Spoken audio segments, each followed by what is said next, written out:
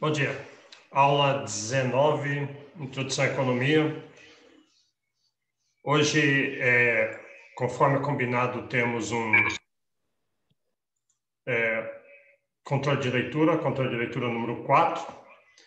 E, então, como é que vai ser isso? O, o, os monitores não vêm hoje como eles vieram das outras vezes. A gente pensou que, como vocês já fizeram três controles e é o mesmo esquema de antes, então, é, deixa eu admitir aqui. Então, é, você já sabe como é que funciona. Então, qual é a história do controle? Você vem aqui para o SIGA, você deve ter recebido já um e-mail informando sobre isso.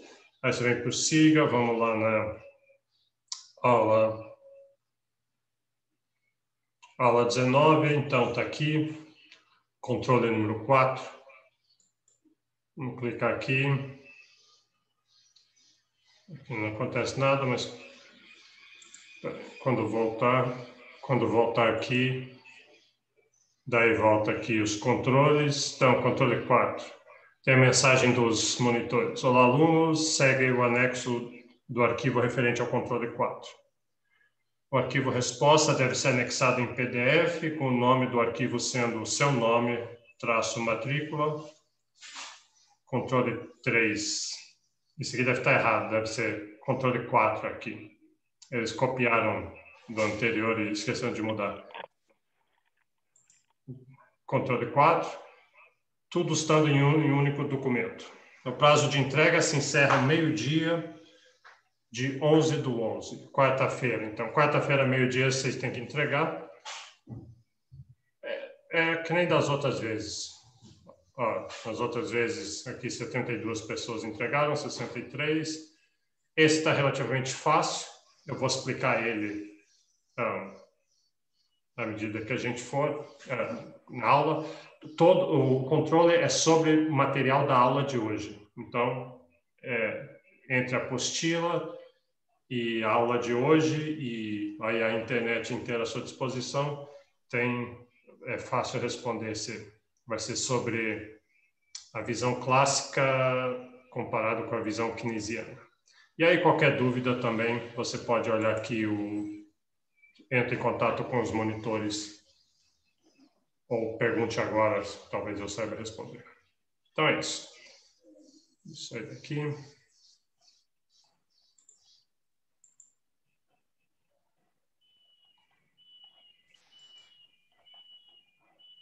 Só vejo aqui o meu. Instantinho só.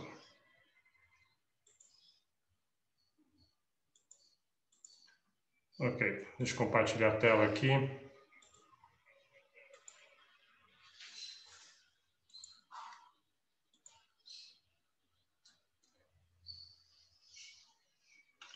Ok, vamos lá. Deixa eu chegar lá onde a gente estava. A aula passada foi tudo sobre. Um, tudo sobre. Nas, nas duas aulas passadas sobre produtividade, produção, crescimento, função, produção. A última coisa que a gente viu foi dois exemplos, duas aplicações de tudo isso com a armadilha malthusiana, limites do crescimento. E aí, antes da gente passar para para a aula propriamente dita de hoje, tem essa, essa parte intermediária, essa parte final aqui, que está lá. Isso é um capítulozinho pequeno que tem na, na apostila. Eu já vou explicar por que, que isso está aqui, mas isso aqui vai voltar. Nós vamos ver um gráfico de oferta e demanda de empréstimos do mercado de crédito. Isso vai ser muito importante lá para frente. Então, isso aqui aparece agora, Daí a gente vai mudar para essa comparação entre a visão keynesiana e a visão clássica, e em aulas subsequentes, isso que a gente vai ver agora vai voltar. Então é bom, aparece agora e aparece depois. Então, lembra, por que, que isso aqui está aqui? Por que, que isso está em uma aula de produção e produtividade e crescimento? Lembra que uh, um dos temas centrais aqui era a ideia de poupança e investimento. É, você tem poupança, você tem investimento. Poupança é quando alguém deixa de consumir e aí esses recursos de alguma forma vão parar na mão de outras pessoas que estão dispostas a investir. Mas como? Que mágica é essa que vai, vai um, que nem eu falei na aula passada, aqueles milhões de, de colchões com dinheiro embaixo, jarros de biscoito com moedinhas dentro e, e, as outras formas todas de poupança, como é que tudo isso vai parar na mão de um investidor que vai fazer, construir um porto, que vai fazer uma fazenda de algodão? É o mercado financeiro que faz isso. O mercado financeiro intermedia isso. Então, o mercado financeiro, é, a gente já viu aula de, de economia monetária, papel de banco central, as várias funções, mas aqui é bom falar de novo. Então, tem o mercado financeiro, esse sistema de bancos. Aqui está histórico dele no Brasil. Ele ele já existe, Banco do Brasil já existe desde o do século XIX e, e vários outros tipos de bancos, instituições financeiras e casas de poupança, de câmbio, etc. Mas eh, aqui diz tem um ponto de inflexão em 64, quando começou a normatizar e criou o Banco Central. Né? Cria o, o um, e vários outros bancos banco BNH, banco de habitação, que é um banco para ajudar a financiar a compra de casas, que é muito importante, sempre precisa de uma entidade especial para isso. Uh, e uma série de leis. E o importante aqui não são não é saber essas leis, é saber que teve esse momento de reformulação do sistema financeiro nacional. E aqui está uma visão do que que faz então aquela, aquela função que eu falei de pegar a demanda, pegar a oferta de de, de recursos poupados e transferidos para investidores. Então, comece aqui. Uh, você tem esses poupadores todos, aquelas milhões de velhinhas, sobrou 10 reais, está embaixo do colchão, está no jarro de biscoitos. É claro que isso, eu estou brincando, falando assim, tem vários tipos de poupadores, até grandes empresas são poupadores, até o governo é poupador. Então, tem pessoas que recebem renda não consomem tudo. E o ponto é justamente que você não deixa embaixo do colchão, você não deixa no jarro de biscoitos, não fica lá embaixo do sofá as moedinhas caídas. Você pega esse dinheiro e você põe no banco, leva para um banco. Porque por que, você faria isso? Né? Por, por que você vai confiar? Hum, claro, porque tem uma certa segurança, talvez, mas porque você recebe juros em, em volta disso. Os juros é justamente um jeito do banco convencer você a deixar o dinheiro lá. E aqui que o banco faz com isso, esse banco, esse sistema financeiro como um todo, ele empresta para os investidores. E ele vai cobrar desses investidores uma taxa de juros. E essa taxa de juros aqui é mais alta do que essa taxa de juros aqui. E é isso que remunera os bancos. Né? Os bancos, essencialmente, isso que chama de spread, essa, essa, essa diferença entre a taxa de juros que ele paga aos poupadores e a que ele co cobra dos emprestadores dos pets. E aí eu sei que existe uma noção, acho que eu mencionei isso em outra aula, existe uma noção assim, ah, juros é errado, juros é malvado, as instituições financeiras são perversas e exploradoras do povo e elas não pagam nada para o poupador e, e, e, eles cobram muito do, do investidor.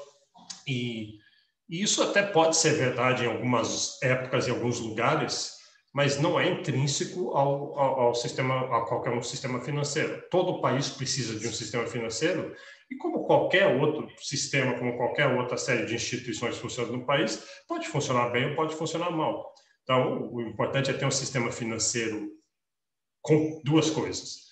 Competitivo, com muita competição, já vou falar um pouquinho mais sobre isso, no caso brasileiro, com competição, porque se aí se tiver competição, os bancos vão competir para atrair esses poupadores e, e, e competir para emprestar dinheiro para os investidores e vão competir através da taxa de juros. Então, se tiver muita, muitos bancos fazendo isso, uh, eles vão oferecer cada vez um juros maior para o poupador e cobrar um juros menor do, do investidor, até chegar num ponto de ser razoável. Se não tiver competição, aí sim os bancos vão explorar mas do mesmo jeito que lojas vão explorar, do mesmo jeito que, que aerolinhas vão explorar se não tiver competição. O problema não é intrínseco ao sistema financeiro, é intrínseco ao, à falta de competição. E, e a segunda coisa é regulação. Deixa eu voltar para o slide anterior. tudo isso que está falando aqui, é, essas leis todas e reforma do sistema nacional, Banco Central, Conselho Monetário Nacional, Comissão de Valores Imobiliários, CAD, várias dessas outras entidades econômicas, a ideia deles é regular o sistema financeiro. Você não quer que o governo faça esse papel do sistema financeiro, que o governo não é um, não é um, competente para isso. Seria um desastre se o governo, esse governo se mete para fazer isso. Tanto que você vê os bancos estatais, uh, Caixa Econômica, Banco do Brasil, um, não são particularmente bons em, em fazer isso. O que você quer é essa competição lá, inclusive competindo com os bancos estatais, mas regulação, uma, uma regulação do governo garantindo que haja concorrência uh, para é, é, que reduzir os juros e fazer o sistema funcionar bem. Quando essa regulação não funciona bem, aí sim você pode citar exemplos como o sistema financeiro nos Estados Unidos em 2008 e posteriormente quando os bancos abusaram e a regulação não foi bem feita, uh, e aí realmente dá problemas. Qual que é o caso brasileiro? O caso brasileiro sempre foi um debate muito grande entre economistas se existe ou não competição no sistema ah, financeiro, vários trabalhos, alguém chega no resultado que existe sim competição, outro que em algumas áreas não tem competição. É, em todo caso, uh, existe, por exemplo, agora o presidente do Banco Central, ele é um cara muito focado em trazer competição para o sistema financeiro. Esse Pix, já deve ter ouvido falar do Pix, PX, é um jeito de transferir dinheiro sem ter que pagar taxa para bancos. Isso, isso, é exemplo de, de, de um, vai botar muito mais competição. Antes os bancos podiam se mandar um DOC, um TED, cobravam taxas muito grandes. Uh, com esse PIX é um exemplo de uma mudança instituída por regulação vinda de cima para tentar gerar mais competição. Então pode ser uma coisa boa. Tá.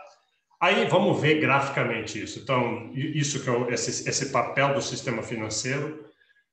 Uh, vamos ver como é que ele funciona graficamente, porque isso vai voltar, como eu falei, depois. Então, para fazer isso, vamos supor aqui, fazer algumas premissas simplificadoras para supor um mercado razoável, uh, simples de, de, o mercado verdadeiro é cheio de detalhes e especificidade. Então, suponha, é um só mercado financeiro, vamos chamar isso de um mercado de fundos de empréstimo. Fundos de empréstimo. Fundos de empréstimo é dinheiro emprestado. Né? Então, o que, o que, assim, o mercado de maçãs, o que está sendo comprado e vendido é maçãs. O mercado de automóveis é automóveis. Cortes de cabelos é cortes de cabelo. Aqui, o que, que é? é? Alguém precisa de dinheiro emprestado. Esse, esse é o serviço que está sendo a gente está modelando aqui em oferta e demanda. Então, qual que é o preço de tomar dinheiro emprestado? Sim, você empresta para mim 30 mil reais, eu quero comprar um carro, você empresta para mim, um banco empresta, uma corretora empresta, alguém empresta para mim dinheiro, o que, que eu vou pagar? Bom, vou, óbvio, vou devolver os 30, eu tô, é só um empréstimo, então se me empresta 30 mil reais, eu vou pagar de volta os 30 mil reais no futuro, mas eu pago uma taxa de juros. Os juros é o preço do empréstimo. Tá? Vamos esquecer a ideia de inflação, então, juros real. Lembra que tem aquela complicação de, de juros, mas tem inflação, então, que, quanto que é realmente o juros? A gente esquece essa complicação aqui, é só juros real. Quem são os ofertantes e quem são os demandantes nesse mercado? No mercado de cortes de cabelo, os ofertantes são os barbeiros e as cabeleireiras. Os demandantes são os cabeludos, as pessoas que querem cortar o cabelo. Aqui, quem são os ofertantes? São as pessoas que têm poupanças. Então, aquelas milhão de velhinhas que eu falei que sobrou dinheiro no final do mês.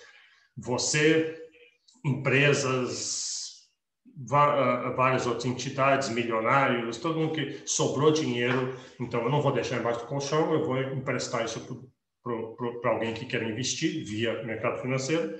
E os demandantes são as pessoas que precisam de algum dinheiro para investir. Então, você quer comprar um carro, tipicamente se não tem 80 mil reais para comprar um carro, não tem 50 mil reais para comprar um carro, então você vai para uma financiadora ou própria loja vai financiar. Se quer comprar um liquidificador, não tem o dinheiro, você vai comprar a, a prestação, né?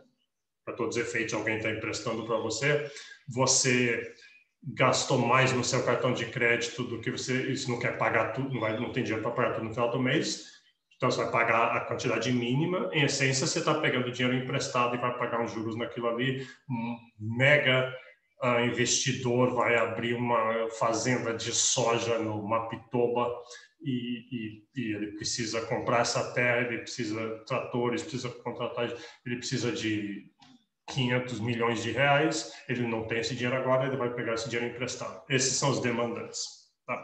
Então, está aqui os ofertantes e como, repara que a quantidade de dinheiro emprestado, quanto dinheiro se pegou emprestado, e aqui a gente está fazendo uma análise macro. Eu podia fazer uma análise micro, só para você, quanto dinheiro você ou quanto dinheiro uh, uma certa região. Aqui é o, o país todo, e repara uma, repara uma relação positiva Quanto dinheiro as pessoas vão querer? Bom, se os juros for baixo, aqui a taxa de juros, se os juros for baixo, é, aqui, aliás, não é, querer, quanto, pessoas, quanto que as pessoas vão emprestar, aqui são os emprestadores. Se os juros for baixo, se eu for lá no banco e o banco falar para mim, ó, a gente se deixa o seu dinheiro aqui durante dois anos, ou um ano, e nós vamos te pagar 2%. Ah, não, então, isso é muito pouco. Um, que é mais juros baixos. Então, as pessoas resolvem emprestar pouco. Se você chegar lá e falar, nós vamos pagar 10% para você, diz, opa, esse é um, um bom juros. E aí é, é, vai ficar maior. Então, quanto maior a taxa de juros, ou mais as pessoas estão dispostas a emprestar. E a demanda é o contrário, é negativamente inclinada. Ah, se os juros for muito alto, aí os investidores vão dizer, ah, eu estava pensando em comprar, abrir uma fazenda de soja, estava pensando em construir um, um armazém, mas está muito caro os ju juros, eu não vou fazer. Ou você ia comprar um carro, mas aí você chegou lá na concessionária e eles falaram assim: ah, a gente empresta para você, mas a 3% ao mês, alguma coisa assim. Não, está muito caro. Mas se você chegar lá e o juros está baixo, aí você vai querer. Então, vai, muita gente vai pegar dinheiro emprestado. Quanto menor os juros, maior a demanda e aquela mágica que a gente conhece bem, oferta e demanda, é esse jogo de oferta e demanda que vai fazer surgir o preço de equilíbrio. Nesse caso, é os juros do equilíbrio. Tem uma tradição de usar R para juros, acho que deve ser de rate, né? interest rate, é o, o, a taxa de juros. E essa vai ser a quantidade de dinheiro que vai ser tomada emprestada e vai virar investimento. Né? Então, por isso que é muito importante a, a, taxa de juros da economia, quando o governo abaixa a taxa de juros, não é que ele controla a taxa de juros, já falei isso várias vezes aqui, o que o governo faz é assim, eu empresto a uma taxa de juros mais baixa, talvez via BNDES. Aí isso aumenta a quantidade de investimento. Então, essa oferta e, oferta e demanda no mercado de fundos emprestáveis Cuidado, eu, eu geralmente eu, eu não falo muito claramente muitas vezes, daí eu falo fundos emprestáveis, não é emprestável, não é, um, um fundo que não serve para nada, é um fundos emprestáveis, pelo contrário, serve para muita coisa.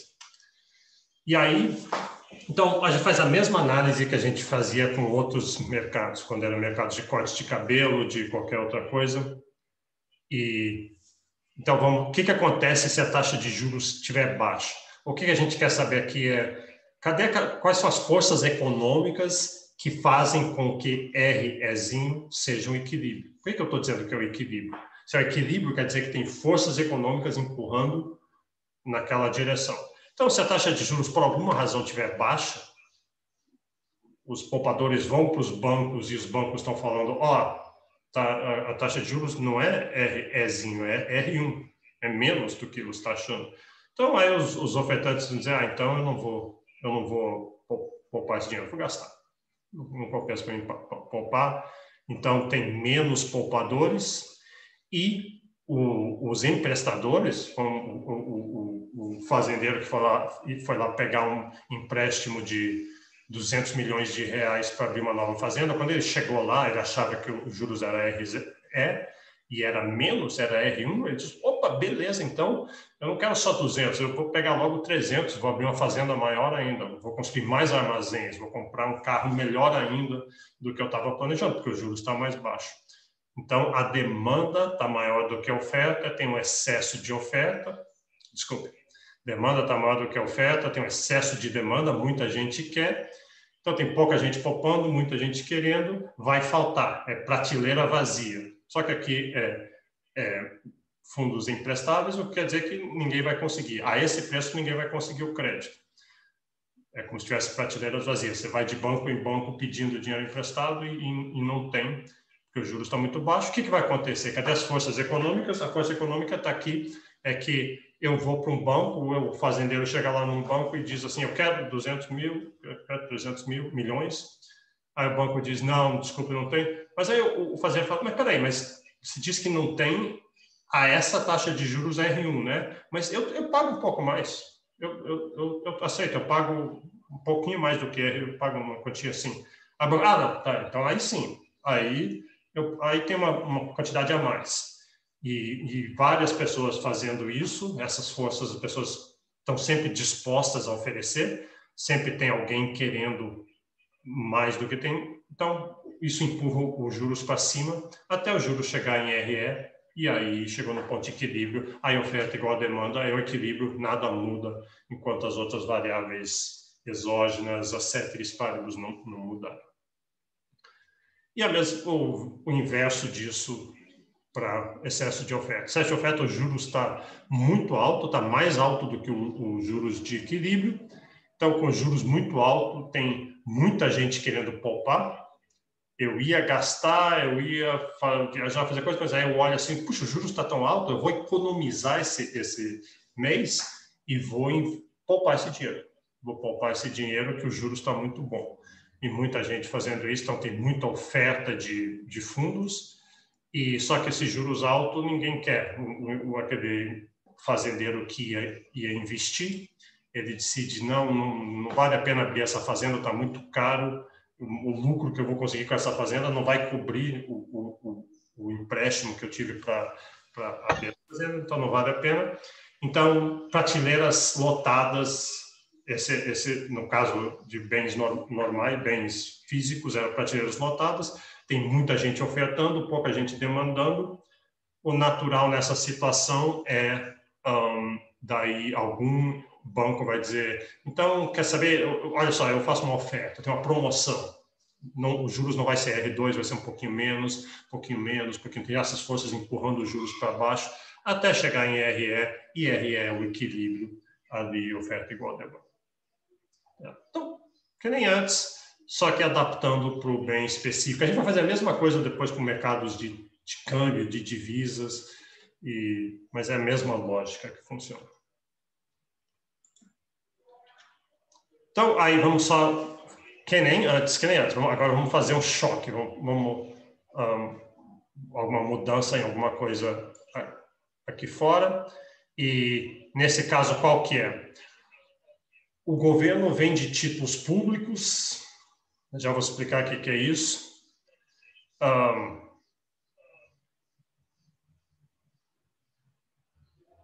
deixa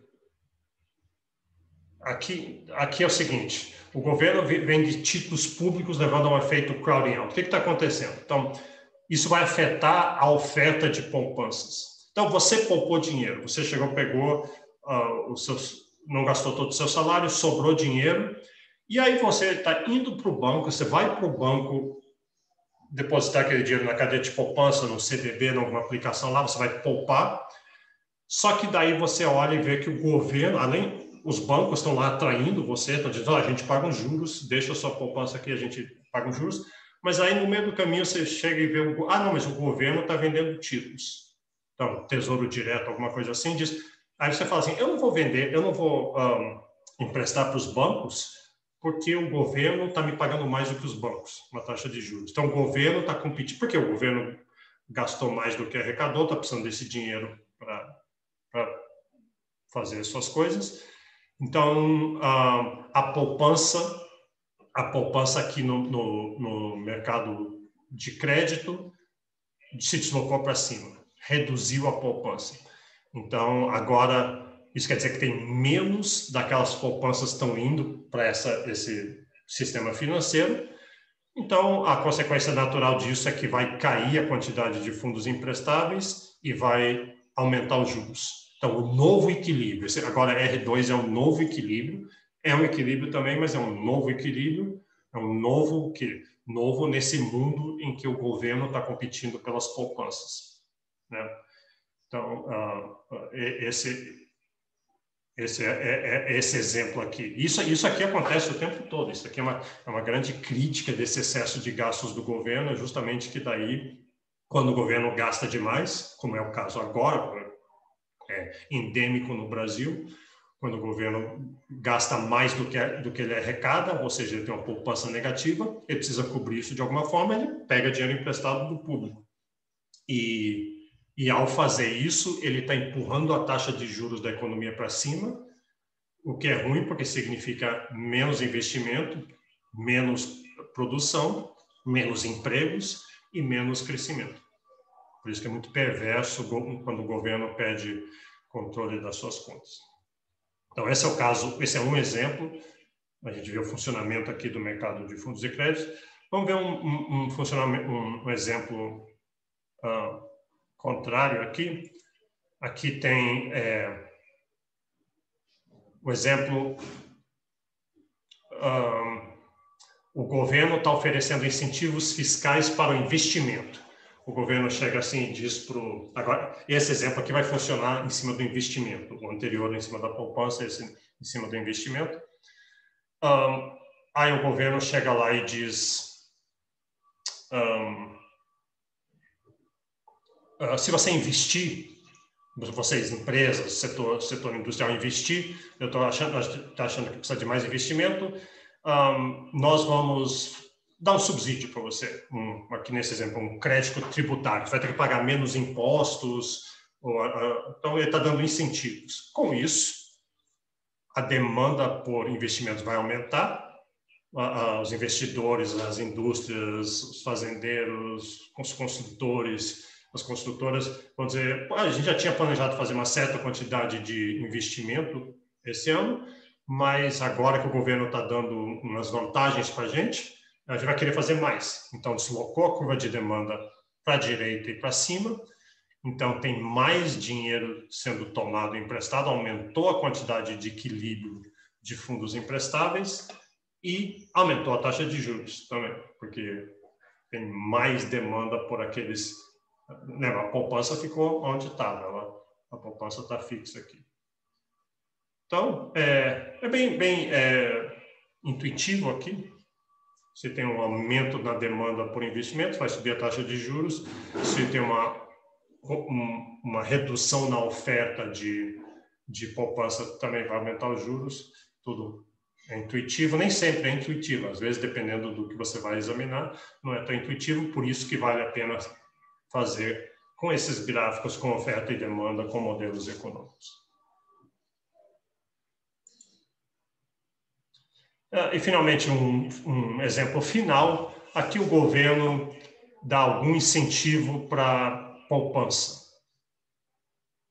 É, como eu falei, um dos grandes problemas do Brasil é que o Brasil não tem muita poupança, então de vez em quando o governo até faz isso. Era muito mais comum, quando eu era garoto, eu me lembro, era, tinha propagandas na televisão de cadernetas de poupança, tinha caderneta de poupança colmeia, né, porque era aqui em Brasília, era específica Brasília, e eu tinha minha caderneta de poupança colmeia, eu guardava as moedinhas, era era lá no Conjunto Nacional, eu ia todo mês levava lá e tinha propagandas na televisão. Tem, pergunta para os seus pais se seus pais moraram em Brasília uh, quando garotos. Pergunta se vocês lembram de alguma propaganda da Colmeia. Tem um monte de musiquinhas da, da, da Colmeia, eu me lembro delas até hoje. Cadete de poupança, Colmeia e, e então incentivos à poupança. Se o governo faz qualquer incentivo à poupança, uma isenção de impostos ou propagandas ou alguma coisa assim, o que, que acontece? A oferta de poupanças aumentou, ela se deslocou para cá, Esse é o contrário daquele exemplo anterior. Então, aumentou as poupanças, então, com isso, vai ter mais dinheiro sendo emprestado e a taxa de juros cai. O novo equilíbrio é E2. Com maior oferta de poupanças, fica mais barato você pegar dinheiro emprestado. Os bancos vão pagar menos para você em remuneração. Então é isso. Esses são esses exemplos aqui. Deixa eu parar aqui e perguntar se tem perguntas sobre isso, sobre o controle, antes de continuar. Aqui. Um instantinho só.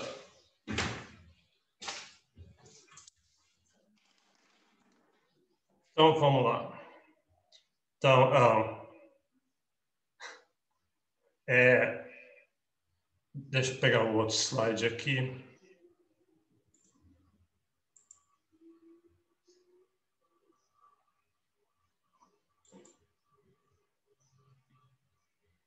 Não, não é esse.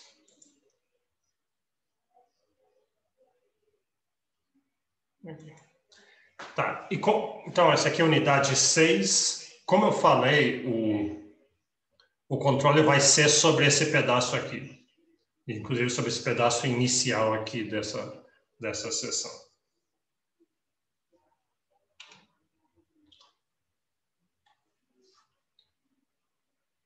Só um instante, deixa eu acertar. Ah, ah eu tenho que compartilhar. Tá. Peraí.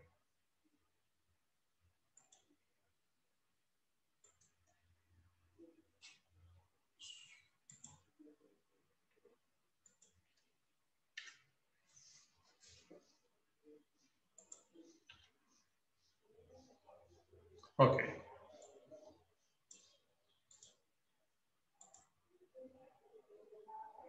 Deixa eu acertar aqui.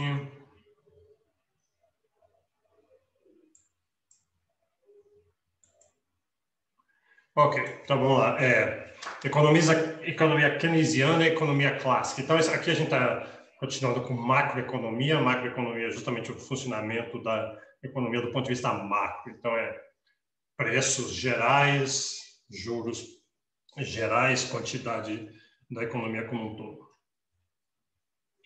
Então, quando a gente fala é, economistas clássicos, quem que a gente quer dizer? Quem, quem que a gente está se referindo? Clássico em que sentido?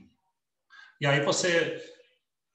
Vocês já ouviram falar em neoclássicos, usa-se muito a ideia de neoclássico, neoliberal, como, como xingamento, mas quem, quem, são os clássicos, os liberais originais? Bom, original está aqui, nosso pai de todos, Adam Smith, né?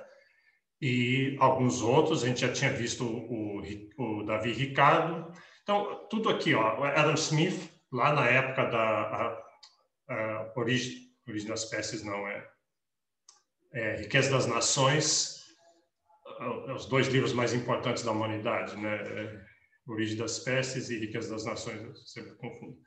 É, 1776, depois 1820, por aí, um, o Davi Ricardo. Então, é, esses são os clássicos, esses são os clássicos, eles que começaram a ideia de economia, chamando a economia de economia. Claro, Platão já falava de coisas ligadas à economia, outros, vários outros pensadores, mas aqui começa a surgir a disciplina de economia.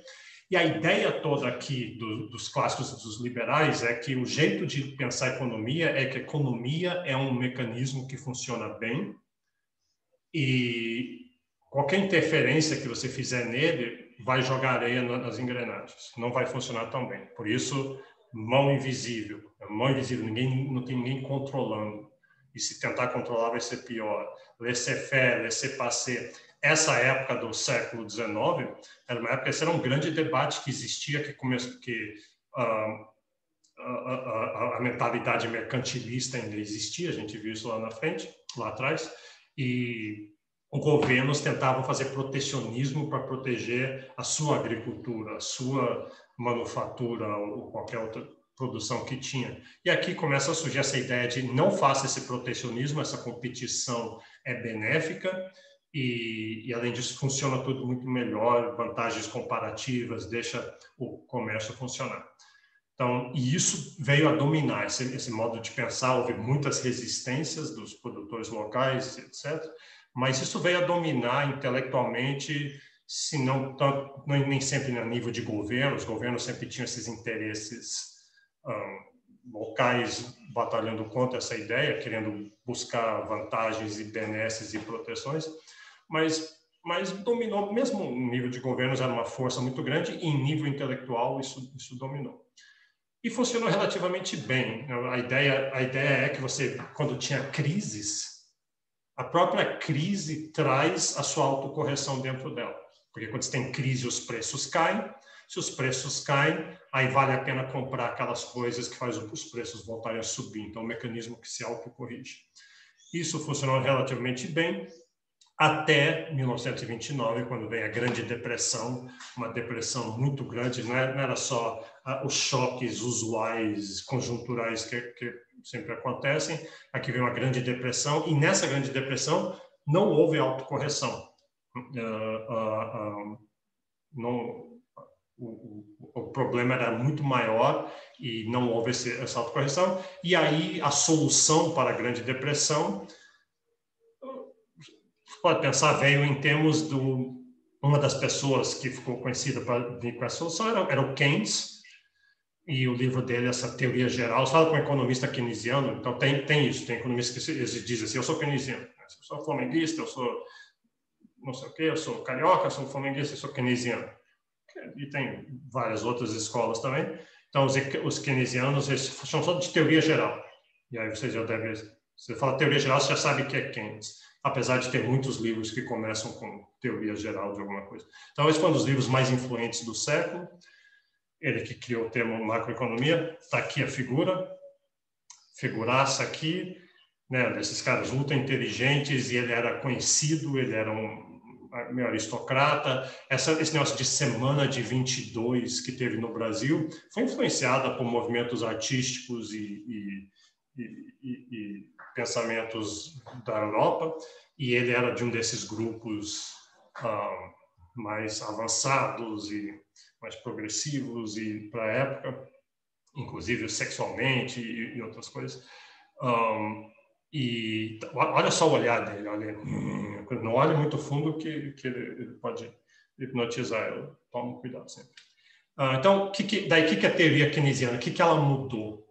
Ela veio com uma ideia que, que abalou, que foi exatamente contrário à ideia inicial. A ideia inicial era essa ideia de autocorreção.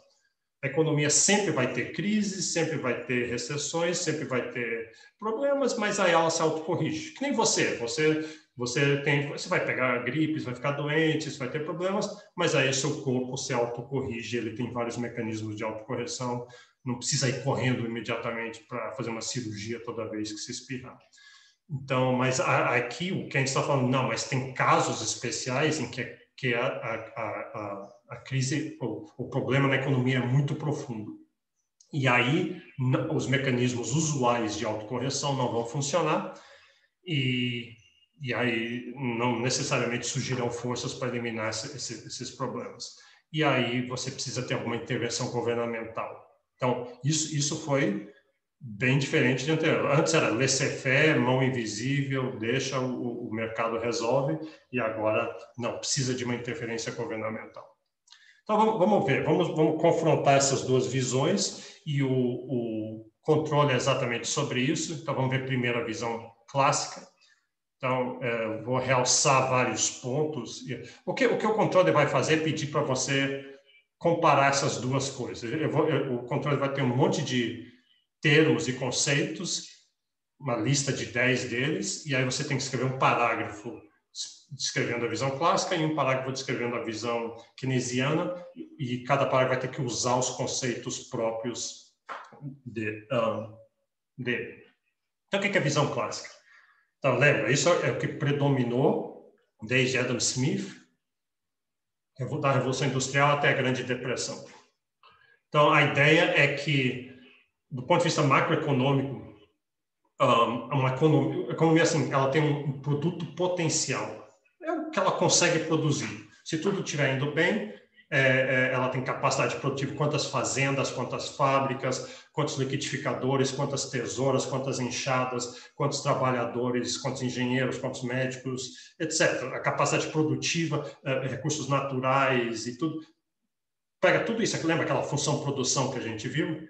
Então, dado o, o, o, o potencial de produção de uma economia,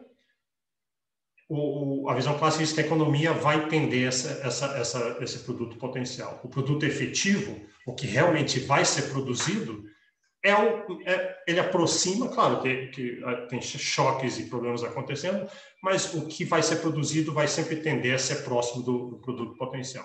A gente quer que a economia esteja no seu produto potencial, a gente quer que a economia produza o máximo, o, que ela consegue produzir, porque esquece aqui problemas de poluição e, e externalidades e essas coisas todas. A gente está pensando aqui o, o problema de escassez está aí para ser resolvido, e as pessoas têm pobreza e tem uh, e as pessoas sempre querem mais então a gente quer que o produto potencial seja realizado e a visão clássica está dizendo que a economia por si só vai tender a chegar para o produto efetivo olha como é bonito isso faz você dormir tranquilo então é, é, as coisas vão funcionar essencialmente está falando então um, um, jeito de colocar isso é essa ideia de lei de Sé esse, esse SAY é um francês, então é C, é que uma oferta cria sua própria demanda. Então, isso pode parecer meio esquisito. O que quer dizer isso? Uma oferta cria sua própria demanda. Então, se alguém produzir alguma coisa, vai ter alguém querendo comprar. Agora, isso não, isso não, quer dizer, não pense assim do ponto de, pensa no visto, do ponto de vista macroeconômico, não pense no visto, então eu posso criar uma coisa mais absurda que tenha, um, é um, uma ferramenta de que no fundo não serve para nada e é feio e não. Diz, mas se eu produzir um milhão de unidades disso aqui, ninguém vai querer comprar. Claro, isso, isso é possível, mas não é isso que a lei de Sé está falando. falando como um todo na economia, um, se você produz uma gama de produtos, para produzir você teve que contratar pessoas e pagar salários, você teve que alugar terras e pagar o aluguel, você teve que pegar dinheiro emprestado e remunerar os juros daquilo ali. Então, esses juros, essa remuneração dos fatores, os salários, juros, aluguéis todos, essas pessoas vão pegar e vão gastar na economia. E elas vão gastar com o quê? Com aquelas coisas que foram produzidas, necessariamente. Esquece importações e essas coisas assim. Então, é, de certa forma, claro que pode ter esses vazamentos, pode ter situações em que alguém, algo foi produzido e ninguém quer comprar, mas no todo é, e no mais longo prazo e na, no agregado, uma oferta cria sua própria demanda. É, então, basicamente isso que está dito aí, né? Sempre que alguém tem uma renda, vai ter dispêndios ou poupança. Se tem dispêndios, a pessoa está comprando produto que foi produzido. Se tem poupança, essa poupança vai virar pelo mercado financeiro investimento. Aquele mecanismo que a gente viu vai fazer poupança ser igual a investimento e aí investimento vai consumir, vai usar os bens que foram produzidos e no final de contas tudo que foi produzido vai ser usado. Então não tem capacidade ociosa e não tem redundâncias na economia, na visão clássica. Claro que pode haver esses desequilíbrios temporários, mas não no longo prazo. Rapidamente, a pessoa que produziu aquele instrumento que não serve para nada vai, vai perceber e vai parar de produzir, ou vai à falência, e aí a fábrica dele vai ser comprada, os trabalhadores deles vão ser contratados, e aquilo vai ser usado para produzir outra coisa. Então, há uma tendência na economia ao equilíbrio. A economia tende ao equilíbrio sozinha, pela mágica do mercado. Né? Ah, tem essa questão aqui de diferença entre preços reais e preços nominais e o que conta mesmo são é o real aqui. A questão monetária ah, não influencia. É, é o que isso é visão clássica chama da, da dicotomia clássica que o, o mercado nominal e o, o, mercado de moeda e o mercado real dos produtos da quantidade de produtos um, não afetam um ao outro. Né? A gente vai ver que no keynesiano é diferente. Então, que, se, se você tem a visão clássica, qual é a prescrição? O que, que, que isso recomenda de como a gente deve organizar o país? Diz que uh, o, pleno, o pleno emprego que a gente quer o próprio mercado vai tem forças levando a ele, então não precisa intervenções específicas do governo para chegar lá. Claro, o governo tem papéis de governo que ele precisa fazer, mas ele não precisa sair tentando in, in, intervir uh, diretamente no mercado. Né?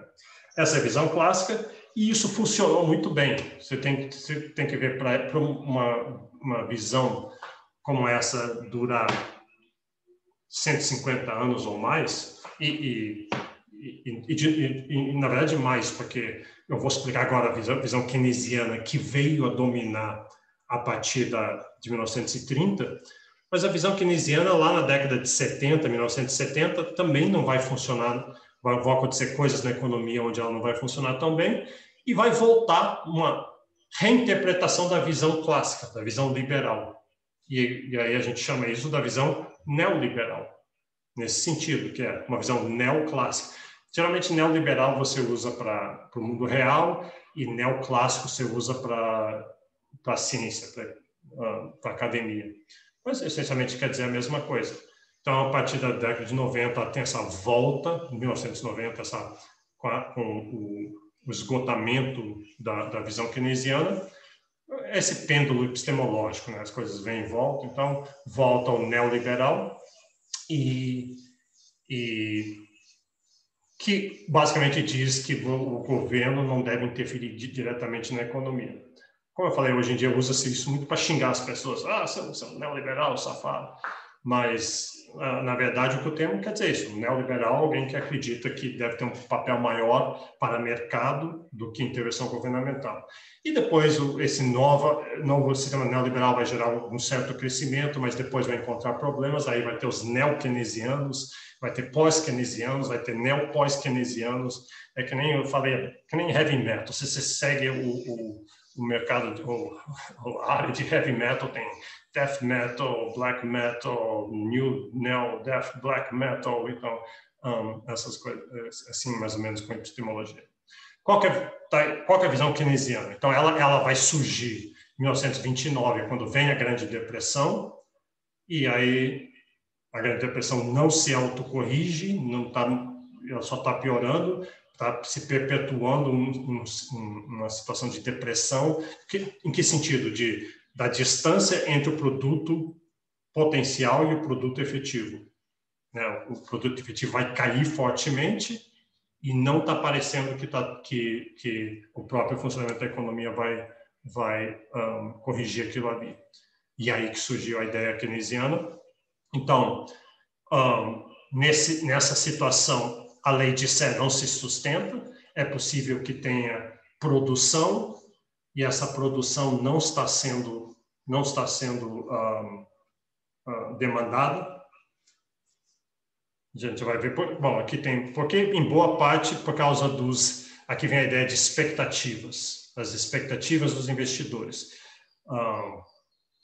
A ideia é assim: você vê vem, a, vem uma depressão, os preços caem, os salários caem. Então é nesse ponto em que os preços caíram, está tudo muito barato.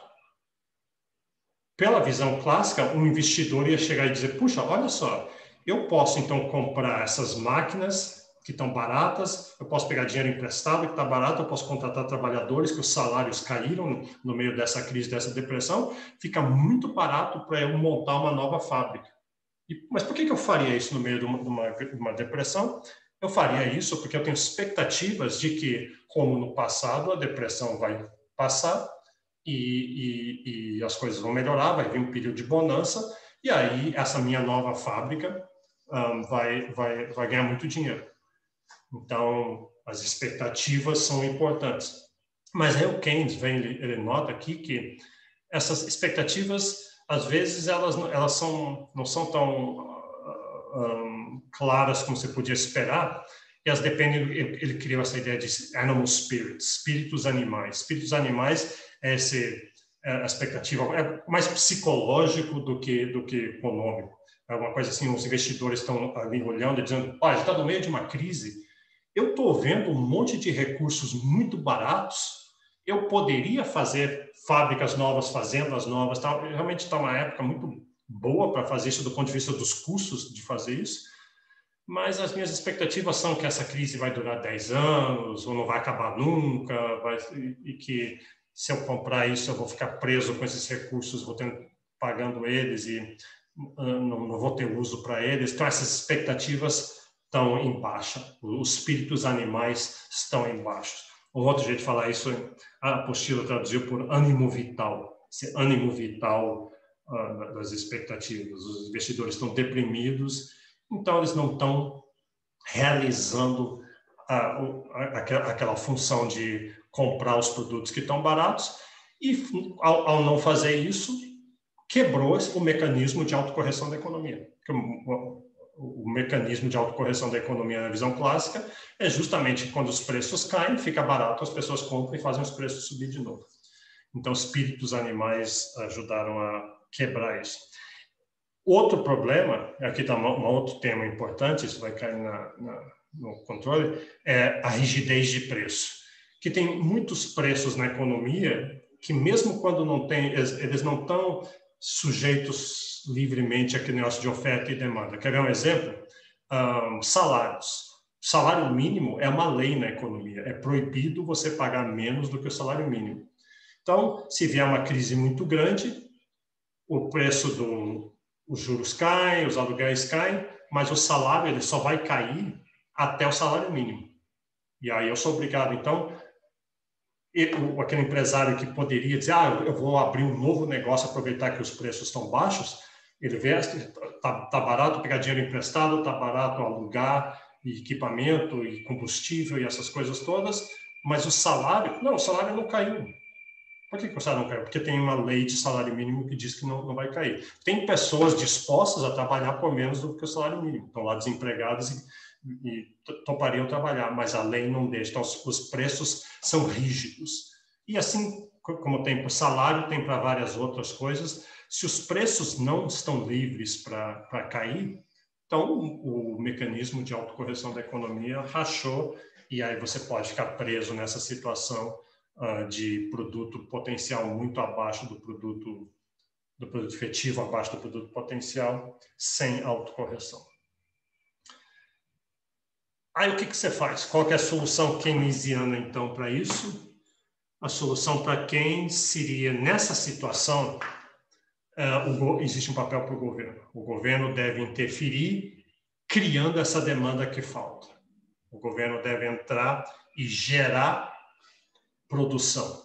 O próprio mercado não está fazendo, os espíritos animais está desincentivando os, investidores a investirem. Aí o governo tem que chegar e, e fazer até você já deve ter ouvido falar sobre isso, um, até é, investimentos não produtivos. Então, uma coisa assim, constrói estradas, constrói infraestrutura, essas coisas que geralmente geram muito emprego, porque daí se você constrói estradas, faz, faz assim, grandes obras no país como um todo, essas grandes obras geram um, um, tem muita gente trabalhando, Aí você paga eles, eles recebem o dinheiro, daí eles vão para o mercado, começam a demandar. Quando eles começam a demandar, aí outros vão dizer: ah, tem gente correndo aqui, vamos produzir para eles, e aí isso aqueceria a economia de alguma forma. Claro que um problema você pensa, peraí, então onde que o governo vai conseguir o dinheiro? No meio de uma crise, de onde que o governo vai conseguir o dinheiro para fazer essas grandes obras? Uh, e a ideia aqui é que isso é um problema realmente, vai tipicamente o governo vai ter que criar dinheiro que tem problema de inflação, ou pegar dinheiro emprestado que tem problema de déficit e outros problemas. Uh, mas a ideia é que no meio de uma, de uma recessão, de uma depressão tão grande quanto essa, esse é, esse é o menor dos seus problemas. E aí no futuro você consegue. Vamos fazer primeiro a economia voltar a trabalhar. E às vezes funciona, às vezes não. Na crise de 29 funcionou muito bem. O Keynes veio sugeriu isso um, os Estados Unidos fez, é, é, o que ficou conhecido como The New Deal, o novo pacto, e aí o governo saiu durante vários anos gastando, gastando, gastando, criando essa demanda, e isso levantou os Estados Unidos da, tirou os Estados Unidos da crise. Nessa crise mais recente aqui, uh, o mundo fez isso também.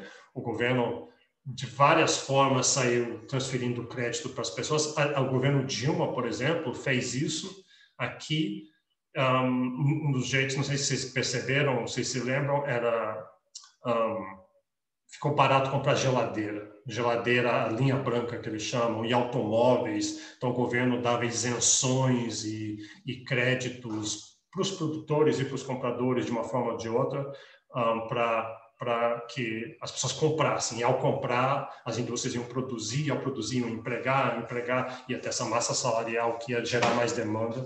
Nesse caso da Dilma, não funcionou, não funcionou bem. Foi, foi gerou mais problemas no longo prazo do que soluções no curto prazo. Então, solução keynesiana é, é, é assim, eu, sei que muita gente pensa assim, por que, por que o governo faz isso sempre? Por que, que o governo não precisa nem fazer só em crise? Por que o governo só não gasta, gasta, gasta, gasta mais? E isso, as pessoas gostam de dizer assim, isso vai girar a economia. Uma mágica, isso gira a economia, as pessoas vão receber salários e consumir mais. Essa conta geralmente não fecha. Essa conta geralmente, é, é, esse gasto do governo cria todo tipo de distorções e problemas e geralmente não é eficiente, mas existem situações, especialmente situações de crise, em que isso bem feito pode funcionar. Né? É, então, o que está por trás disso, um, aqui tem, na, na, visão keynesiana, tem essa ideia de curva de Phillips. A gente viu isso lá na primeira aula, quando tinha aqueles oito conceitos em economia, e eram dez originalmente, e até notei que tem um conceito, um dos dois, que não entrou na lista dos oito, mas está na lista dos dez do livro original, é a curva de Phillips. A curva de Phillips é essa ideia de que existe uma relação inversa entre desemprego e inflação.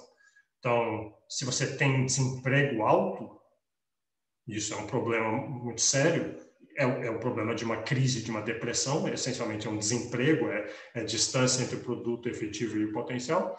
O governo pode aceitar mais inflação, por exemplo, emitindo dinheiro ou gastando excessivamente, e se você aumentar a inflação, você reduz o desemprego.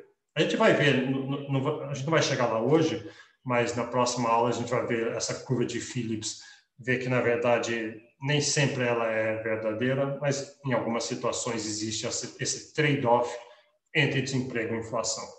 Repara, nenhum país quer desemprego e nenhum país quer inflação. O que a curva de Phillips está dizendo é, não, você tem que ter dos dois. Agora, você pode escolher qual que você quer mais. Então, se você, se você acha que para o seu país é, inflação é particularmente problemático, Brasil, né, para quem já passou por hiperinflação, inflação é sempre um perigo muito grande. Então, talvez você queira escolher uma combinação com um pouquinho mais de desemprego, um pouquinho menos de inflação. Se você acha que seu problema maior é desemprego, então você talvez seja disposto a aceitar um pouquinho mais de inflação para reduzir o desemprego.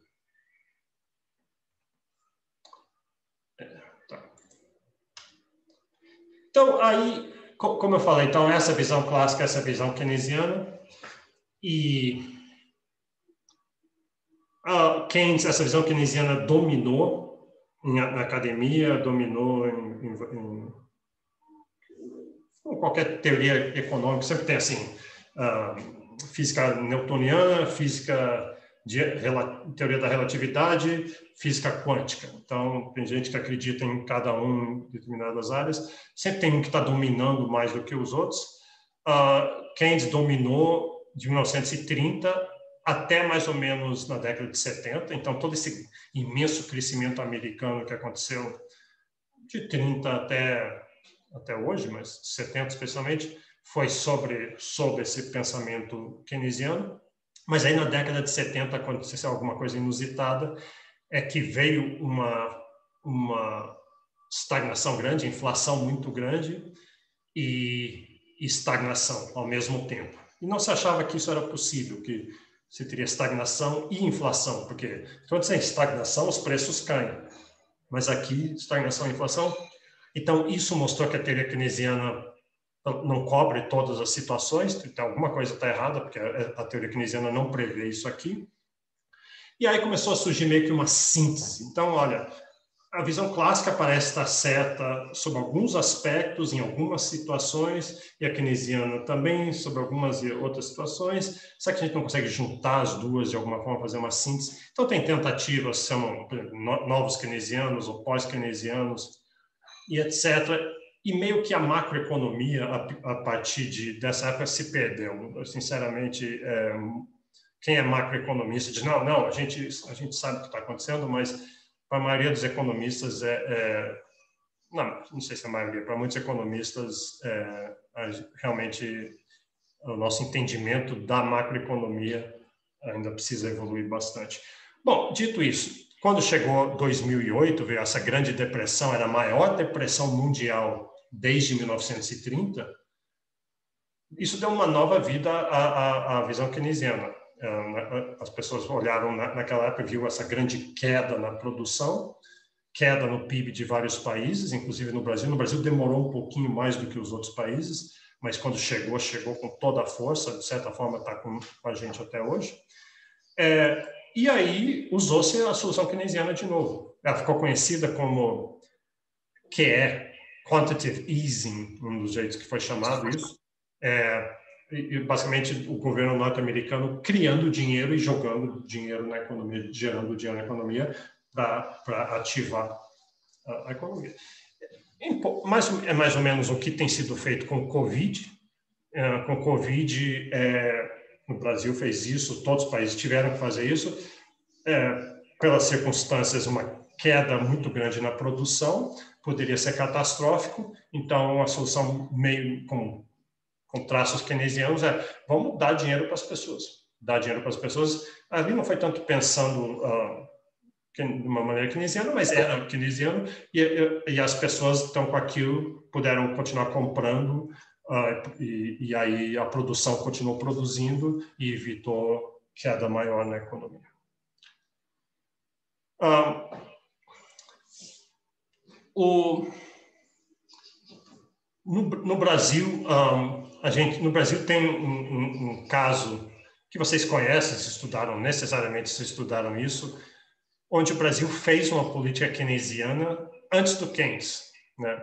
E não por razões keynesianas, mas teve o efeito keynesiano. Então, né, quando teve essa grande crise de 30, uh, o, a, a, a, renda no Brasil, a produção no Brasil caiu fortemente, caiu 25%.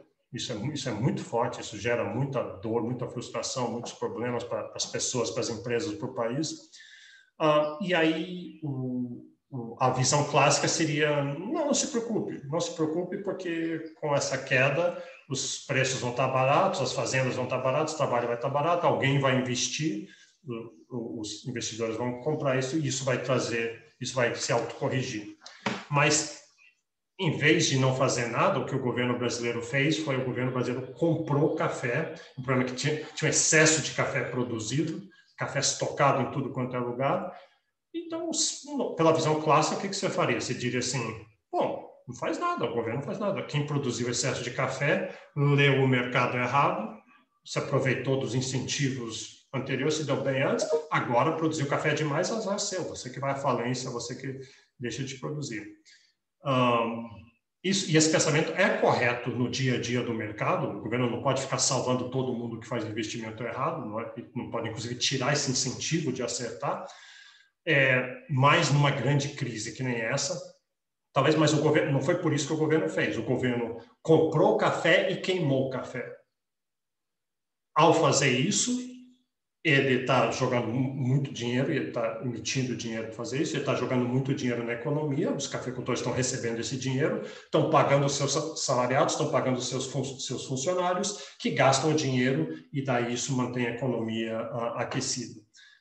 Por que, que o governo fez isso? Ele, teve, ele, ele já percebeu a coisa keynesiana? Não é por isso, ele fez porque o governo era os cafeicultores, os cafeicultores dominavam o governo, então, o governo trabalhava a favor dos cafeicultores, eles eram a elite uh, produtora da época.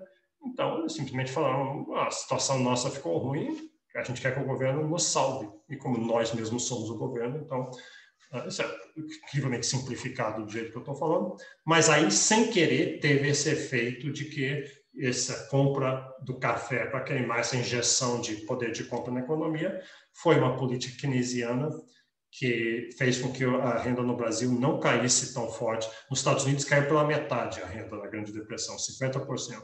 No Brasil caiu 25% e o Brasil saiu mais rápido da crise do que a maioria dos outros países.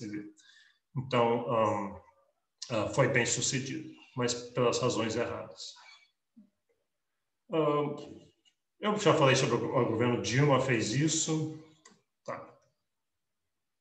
Ok. Então, o que a gente vai fazer na próxima aula, nós vamos modelar isso aqui. Vocês já, já imaginaram, claro. Vamos modelar essa, essa visão keynesiana. O que eu vou só fazer para acabar, quero fazer duas coisas. Um, primeiro, tirar dúvidas sobre isso, tirar dúvidas sobre o, o controle, e depois eu quero um, botar um vídeo, talvez vocês já conheçam esse vídeo, mas é um vídeo do é o Keynes, da visão clássica contra a visão keynesiana. Na verdade, não é a visão clássica, mas é um, é um Hayek, que é um outro pensador que era o, o inimigo intelectual do, do Keynes. E, mas muitos desses tem, termos que a gente viu aqui, e termos que estão no controle de leitura número 4, estão nesse vídeo. É é um rap, é o Keynes fazendo uma batalha de rap contra, contra o Hayek. Então, primeira coisa, deixa eu uh, perguntar, deixa eu ver se tem dúvida. Ah, peraí, talvez aqui tem no chat. Um, alguém, Rafael, perguntando aqui, a Selic influencia a oferta e demanda? Uh, sim, certamente. O que, que, que, que é a Selic? Selic é a taxa de juros do governo. O governo diz assim, ó, eu empresto para as empresas a esse valor, a taxa Selic. Não é que o governo escolhe a taxa de juros de mercado. Só que o governo, como o governo é uma entidade tão grande, tem tanto dinheiro, se ele empresta a Selic, e quando os bancos estão emprestando alguma coisa acima da Selic, aí ninguém, ninguém pega dinheiro nos bancos. Aí eu preciso, ah, vou pegar do, do, do governo em vez. É, e aí, então, os bancos percebendo isso, dizem, a gente tem que aproximar da Selic. Né? Então, é assim que o governo, a gente fala, o governo determina a taxa de juros. Eu não gosto quando fala isso, que dá a impressão para a maioria das pessoas que o governo tem um botão vermelho que ele aperta ali, aumenta a taxa de juros, cai a taxa de juros. Não é isso que ele faz. Ele não, não, existe uma lei da taxa de juros. Uh, do mesmo jeito que não tem uma lei da gravidade que obriga tudo a cair ao mesmo tempo. Tem causas que fazem com que isso aconteça. Então, isso que é a. É, há mais alguma pergunta sobre as aulas ou sobre o controle?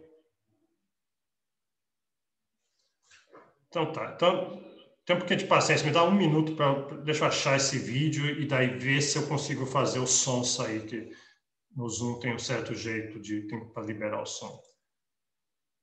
Então, um instantinho só.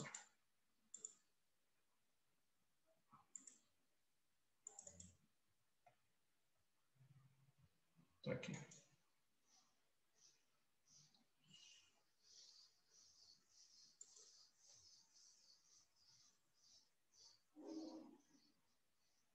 Eu já achei, eu vou dar um pouquinho de contexto primeiro. Então tá, aqui. Deixa eu só liberar o som.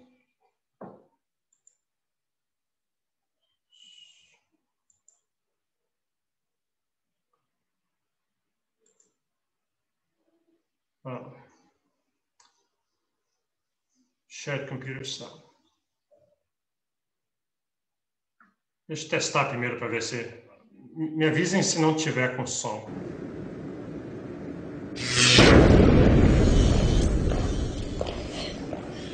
Lord Keynes, welcome, sir. Tá com som? Bom, se ninguém falar nada, eu estou supondo que está com som. Deixa, deixa eu dar o contexto.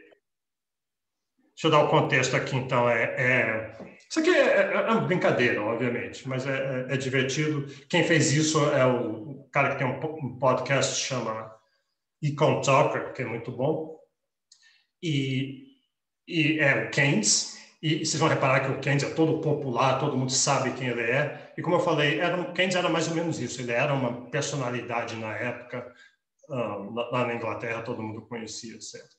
O outro é o Hayek, é um austríaco, tem uma, uma escola de economia que chama os austríacos, que é, é, é mais da visão clássica, da, da, visão de que a economia é um, um mecanismo complexo, então não dá para se interferir. Qualquer tentativa de interferir vai, vai dar errado.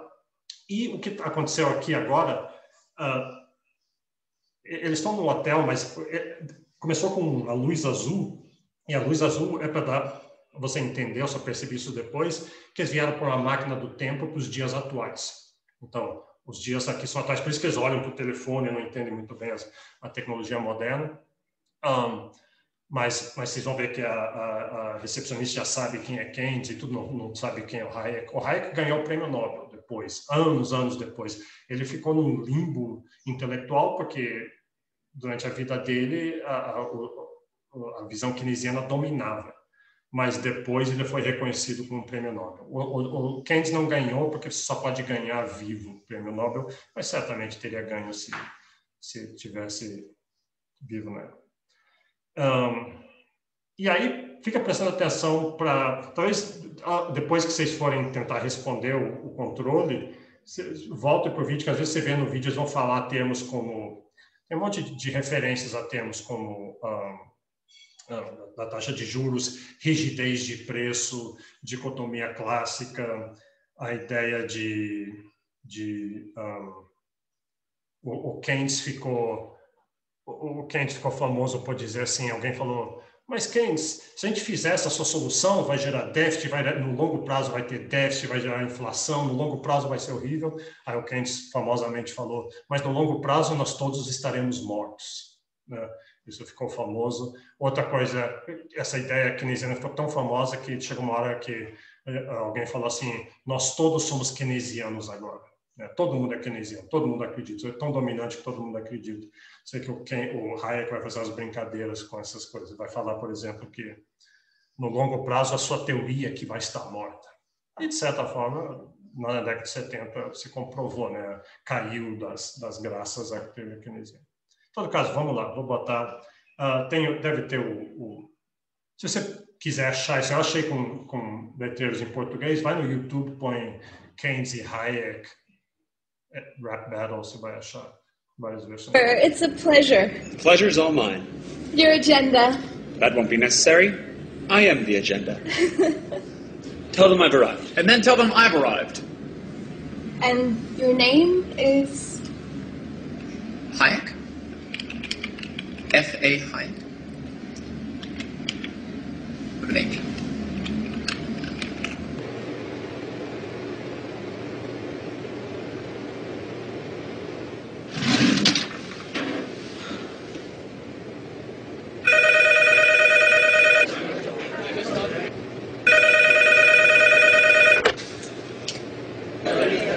Freddie. Yeah. Hey, listen, party at the Fed. All right. Lobby. John Maynard Keynes. Uh, oh, F.A. Hayek. Yeah, we're opposed. We oppose each other philosophically. In the same studio. We've been going back and forth for a century. I want to steer markets. I want them set free. There's a boom and bust cycle and good reason to fear it. Play low interest rates. It's the animal spirits. John Maynard Keynes wrote the book on modern macro. The man you need when the economy's off track. Depression, recession, now your question's in session. Have a seat and I'll school you in one simple lesson. Boom, 1929, the big crash. We didn't bounce back, economies in the trash. Persistent unemployment, the result of sticky wages. Waiting for recovery? That's outrageous. I had a real plan, any fool can understand. The advice real simple, boost aggregate demand. CIG altogether gets to Y. Keep that total growing, watch the economy fly. We've been going back and forth for a century. I want to steer markets. I want them set free. There's a boom and bust cycle and good reason to fear it. Play low interest No, rates. it's the animal spirit. You see, it's all about spending. Hear the register cha-ching. Circular flow, the dough is everything. So if that flow is getting low, doesn't matter the reason. We need more government spending. Now it's stimulus season, so forget about saving. Get it straight out of your head. Like I said, in the long run, we're all dead. Savings is destruction. That's the paradox of thrift. Don't keep money in your pocket, or that growth will never lift. Because business is driven by the animal spirits, the bull and the bear, and there's reasons to fear its effects on capital investment, income, and growth. That's why the state should fill the gap with stimulus, both the monetary and the fiscal. They're equally correct. Public works, digging ditches, war has the same effect. Even a broken window helps the glass man have some wealth. The multiplier driving higher the economy's health. And if the central bank's interest rate policy tanks, a liquidity trap, that new money stuck in the banks. Deficits could be the cure you've been looking for. let the spending soar. Now that you know the score, my general theories made quite an impression. Revolution! I transformed the econ profession. You know me, modesty, still I'm taking a bow. So say it loud and say it proud, we're all Keynesians now. We've been going back and forth for a century. I want to steer markets. I want them set free. There's a boom and bust cycle and good reason to fear it. I made my case ready, H. Listen up, can you hear it? I'll begin in broad strokes, just like my friend Keynes. His theory conceals the mechanics of change. That simple equation, too much aggregation, ignores human action and motivation. Yet it continues as a justification for bailouts, payoffs by polls with machinations. You provide them with cover to sell us a free lunch. Then all that we're left with is debt and a bunch. If you're living high on that cheap credit hog, don't look for a cure from the hair of the dog. Real savings come first if you want to invest. The market coordinates time with interest. Your focus on spending is pushing on thread. In the long run, my friend, it's your theory that's dead. So if that sounds like invective. Prepare to get schooled in my Austrian perspective. We've been going back and forth for a century. I want to steer markets. I want them set free. There's a boom and bust cycle and good reason to fear it. Blame low interest No, rates. it's the animal spirit. The place you should study isn't the bust, it's the boom that should make you feel leery. That's the thrust of my theory. The capital structure is key. Malinvestments wreck the economy. The boom gets started with an expansion of credit. The Fed sets rates low. Are you starting to get it? That new money is confused for real loanable funds, but it's just inflation that's driving the ones who invest in new projects like housing construction. The boom plants the seeds for its future destruction. The savings aren't real, consumption's up too, and the grasping for resources reveals there's too few. So the boom turns to bust as the interest rates rise. For the cost of production, price signals relies. The boom was a binge, that's a matter of fact. Now it's devalued capital that makes up the slack. Whether it's the late 20s or 2005, booming bad investments seems like they'd thrive. You must save to invest, don't use the printing press, or a bust will surely follow. An economy depressed, your so-called stimulus will make things worse. Just more of the same, more incentives perverse, and that credit crunch ain't a liquidity trap, just a broke banking system. I'm done, that's a wrap. We've been going back and forth for a century. I want to steer markets. I want them set free. There's a boom and bust cycle and good reason to fear it. Blame low interest No, rates. it's the animal spirit. The ideas of economists and political philosophers, both when they are right and when they are wrong, are more powerful than is commonly understood. Indeed, the world is ruled by little else. Practical men who believe themselves to be quite exempt from any intellectual influence are usually the slaves of some defunct economist. The curious task of economics is to demonstrate to men how little they really know about what they imagine they can design. They've been going back and forth for a century. Ok. Então, é. Bom, vocês viram aí. É, eu recomendo depois veja de novo, que gente, quando você vê pela primeira vez, você está olhando o que está acontecendo, mas veja de novo prestando atenção no que eles estão falando. Vocês vão ver muito disso que, que eu conversei aqui, que é o tema do controle está ali, né? Essa ideia do a ressaca do Keynes, né? O Keynes chega, a, a metáfora ali é que beber, se divertir, ir para festas, tudo é gasto, gasto do, do governo, é que é bom, é, todo mundo fica feliz. E a ideia do Hayek, ela, que aquilo ali tem custos depois. E preste atenção também no, nas duas citações no final. Por exemplo, uma citação do Keynes e uma do Hayek. O Keynes era um excelente escritor, então ele está cheio dessas citações boas. Então, a dele é essa de que é, muitos, tem, passa todos os presidentes dos Estados Unidos, diz que muitos homens importantes que tomaram decisões são escravos a algum economista morto. Né?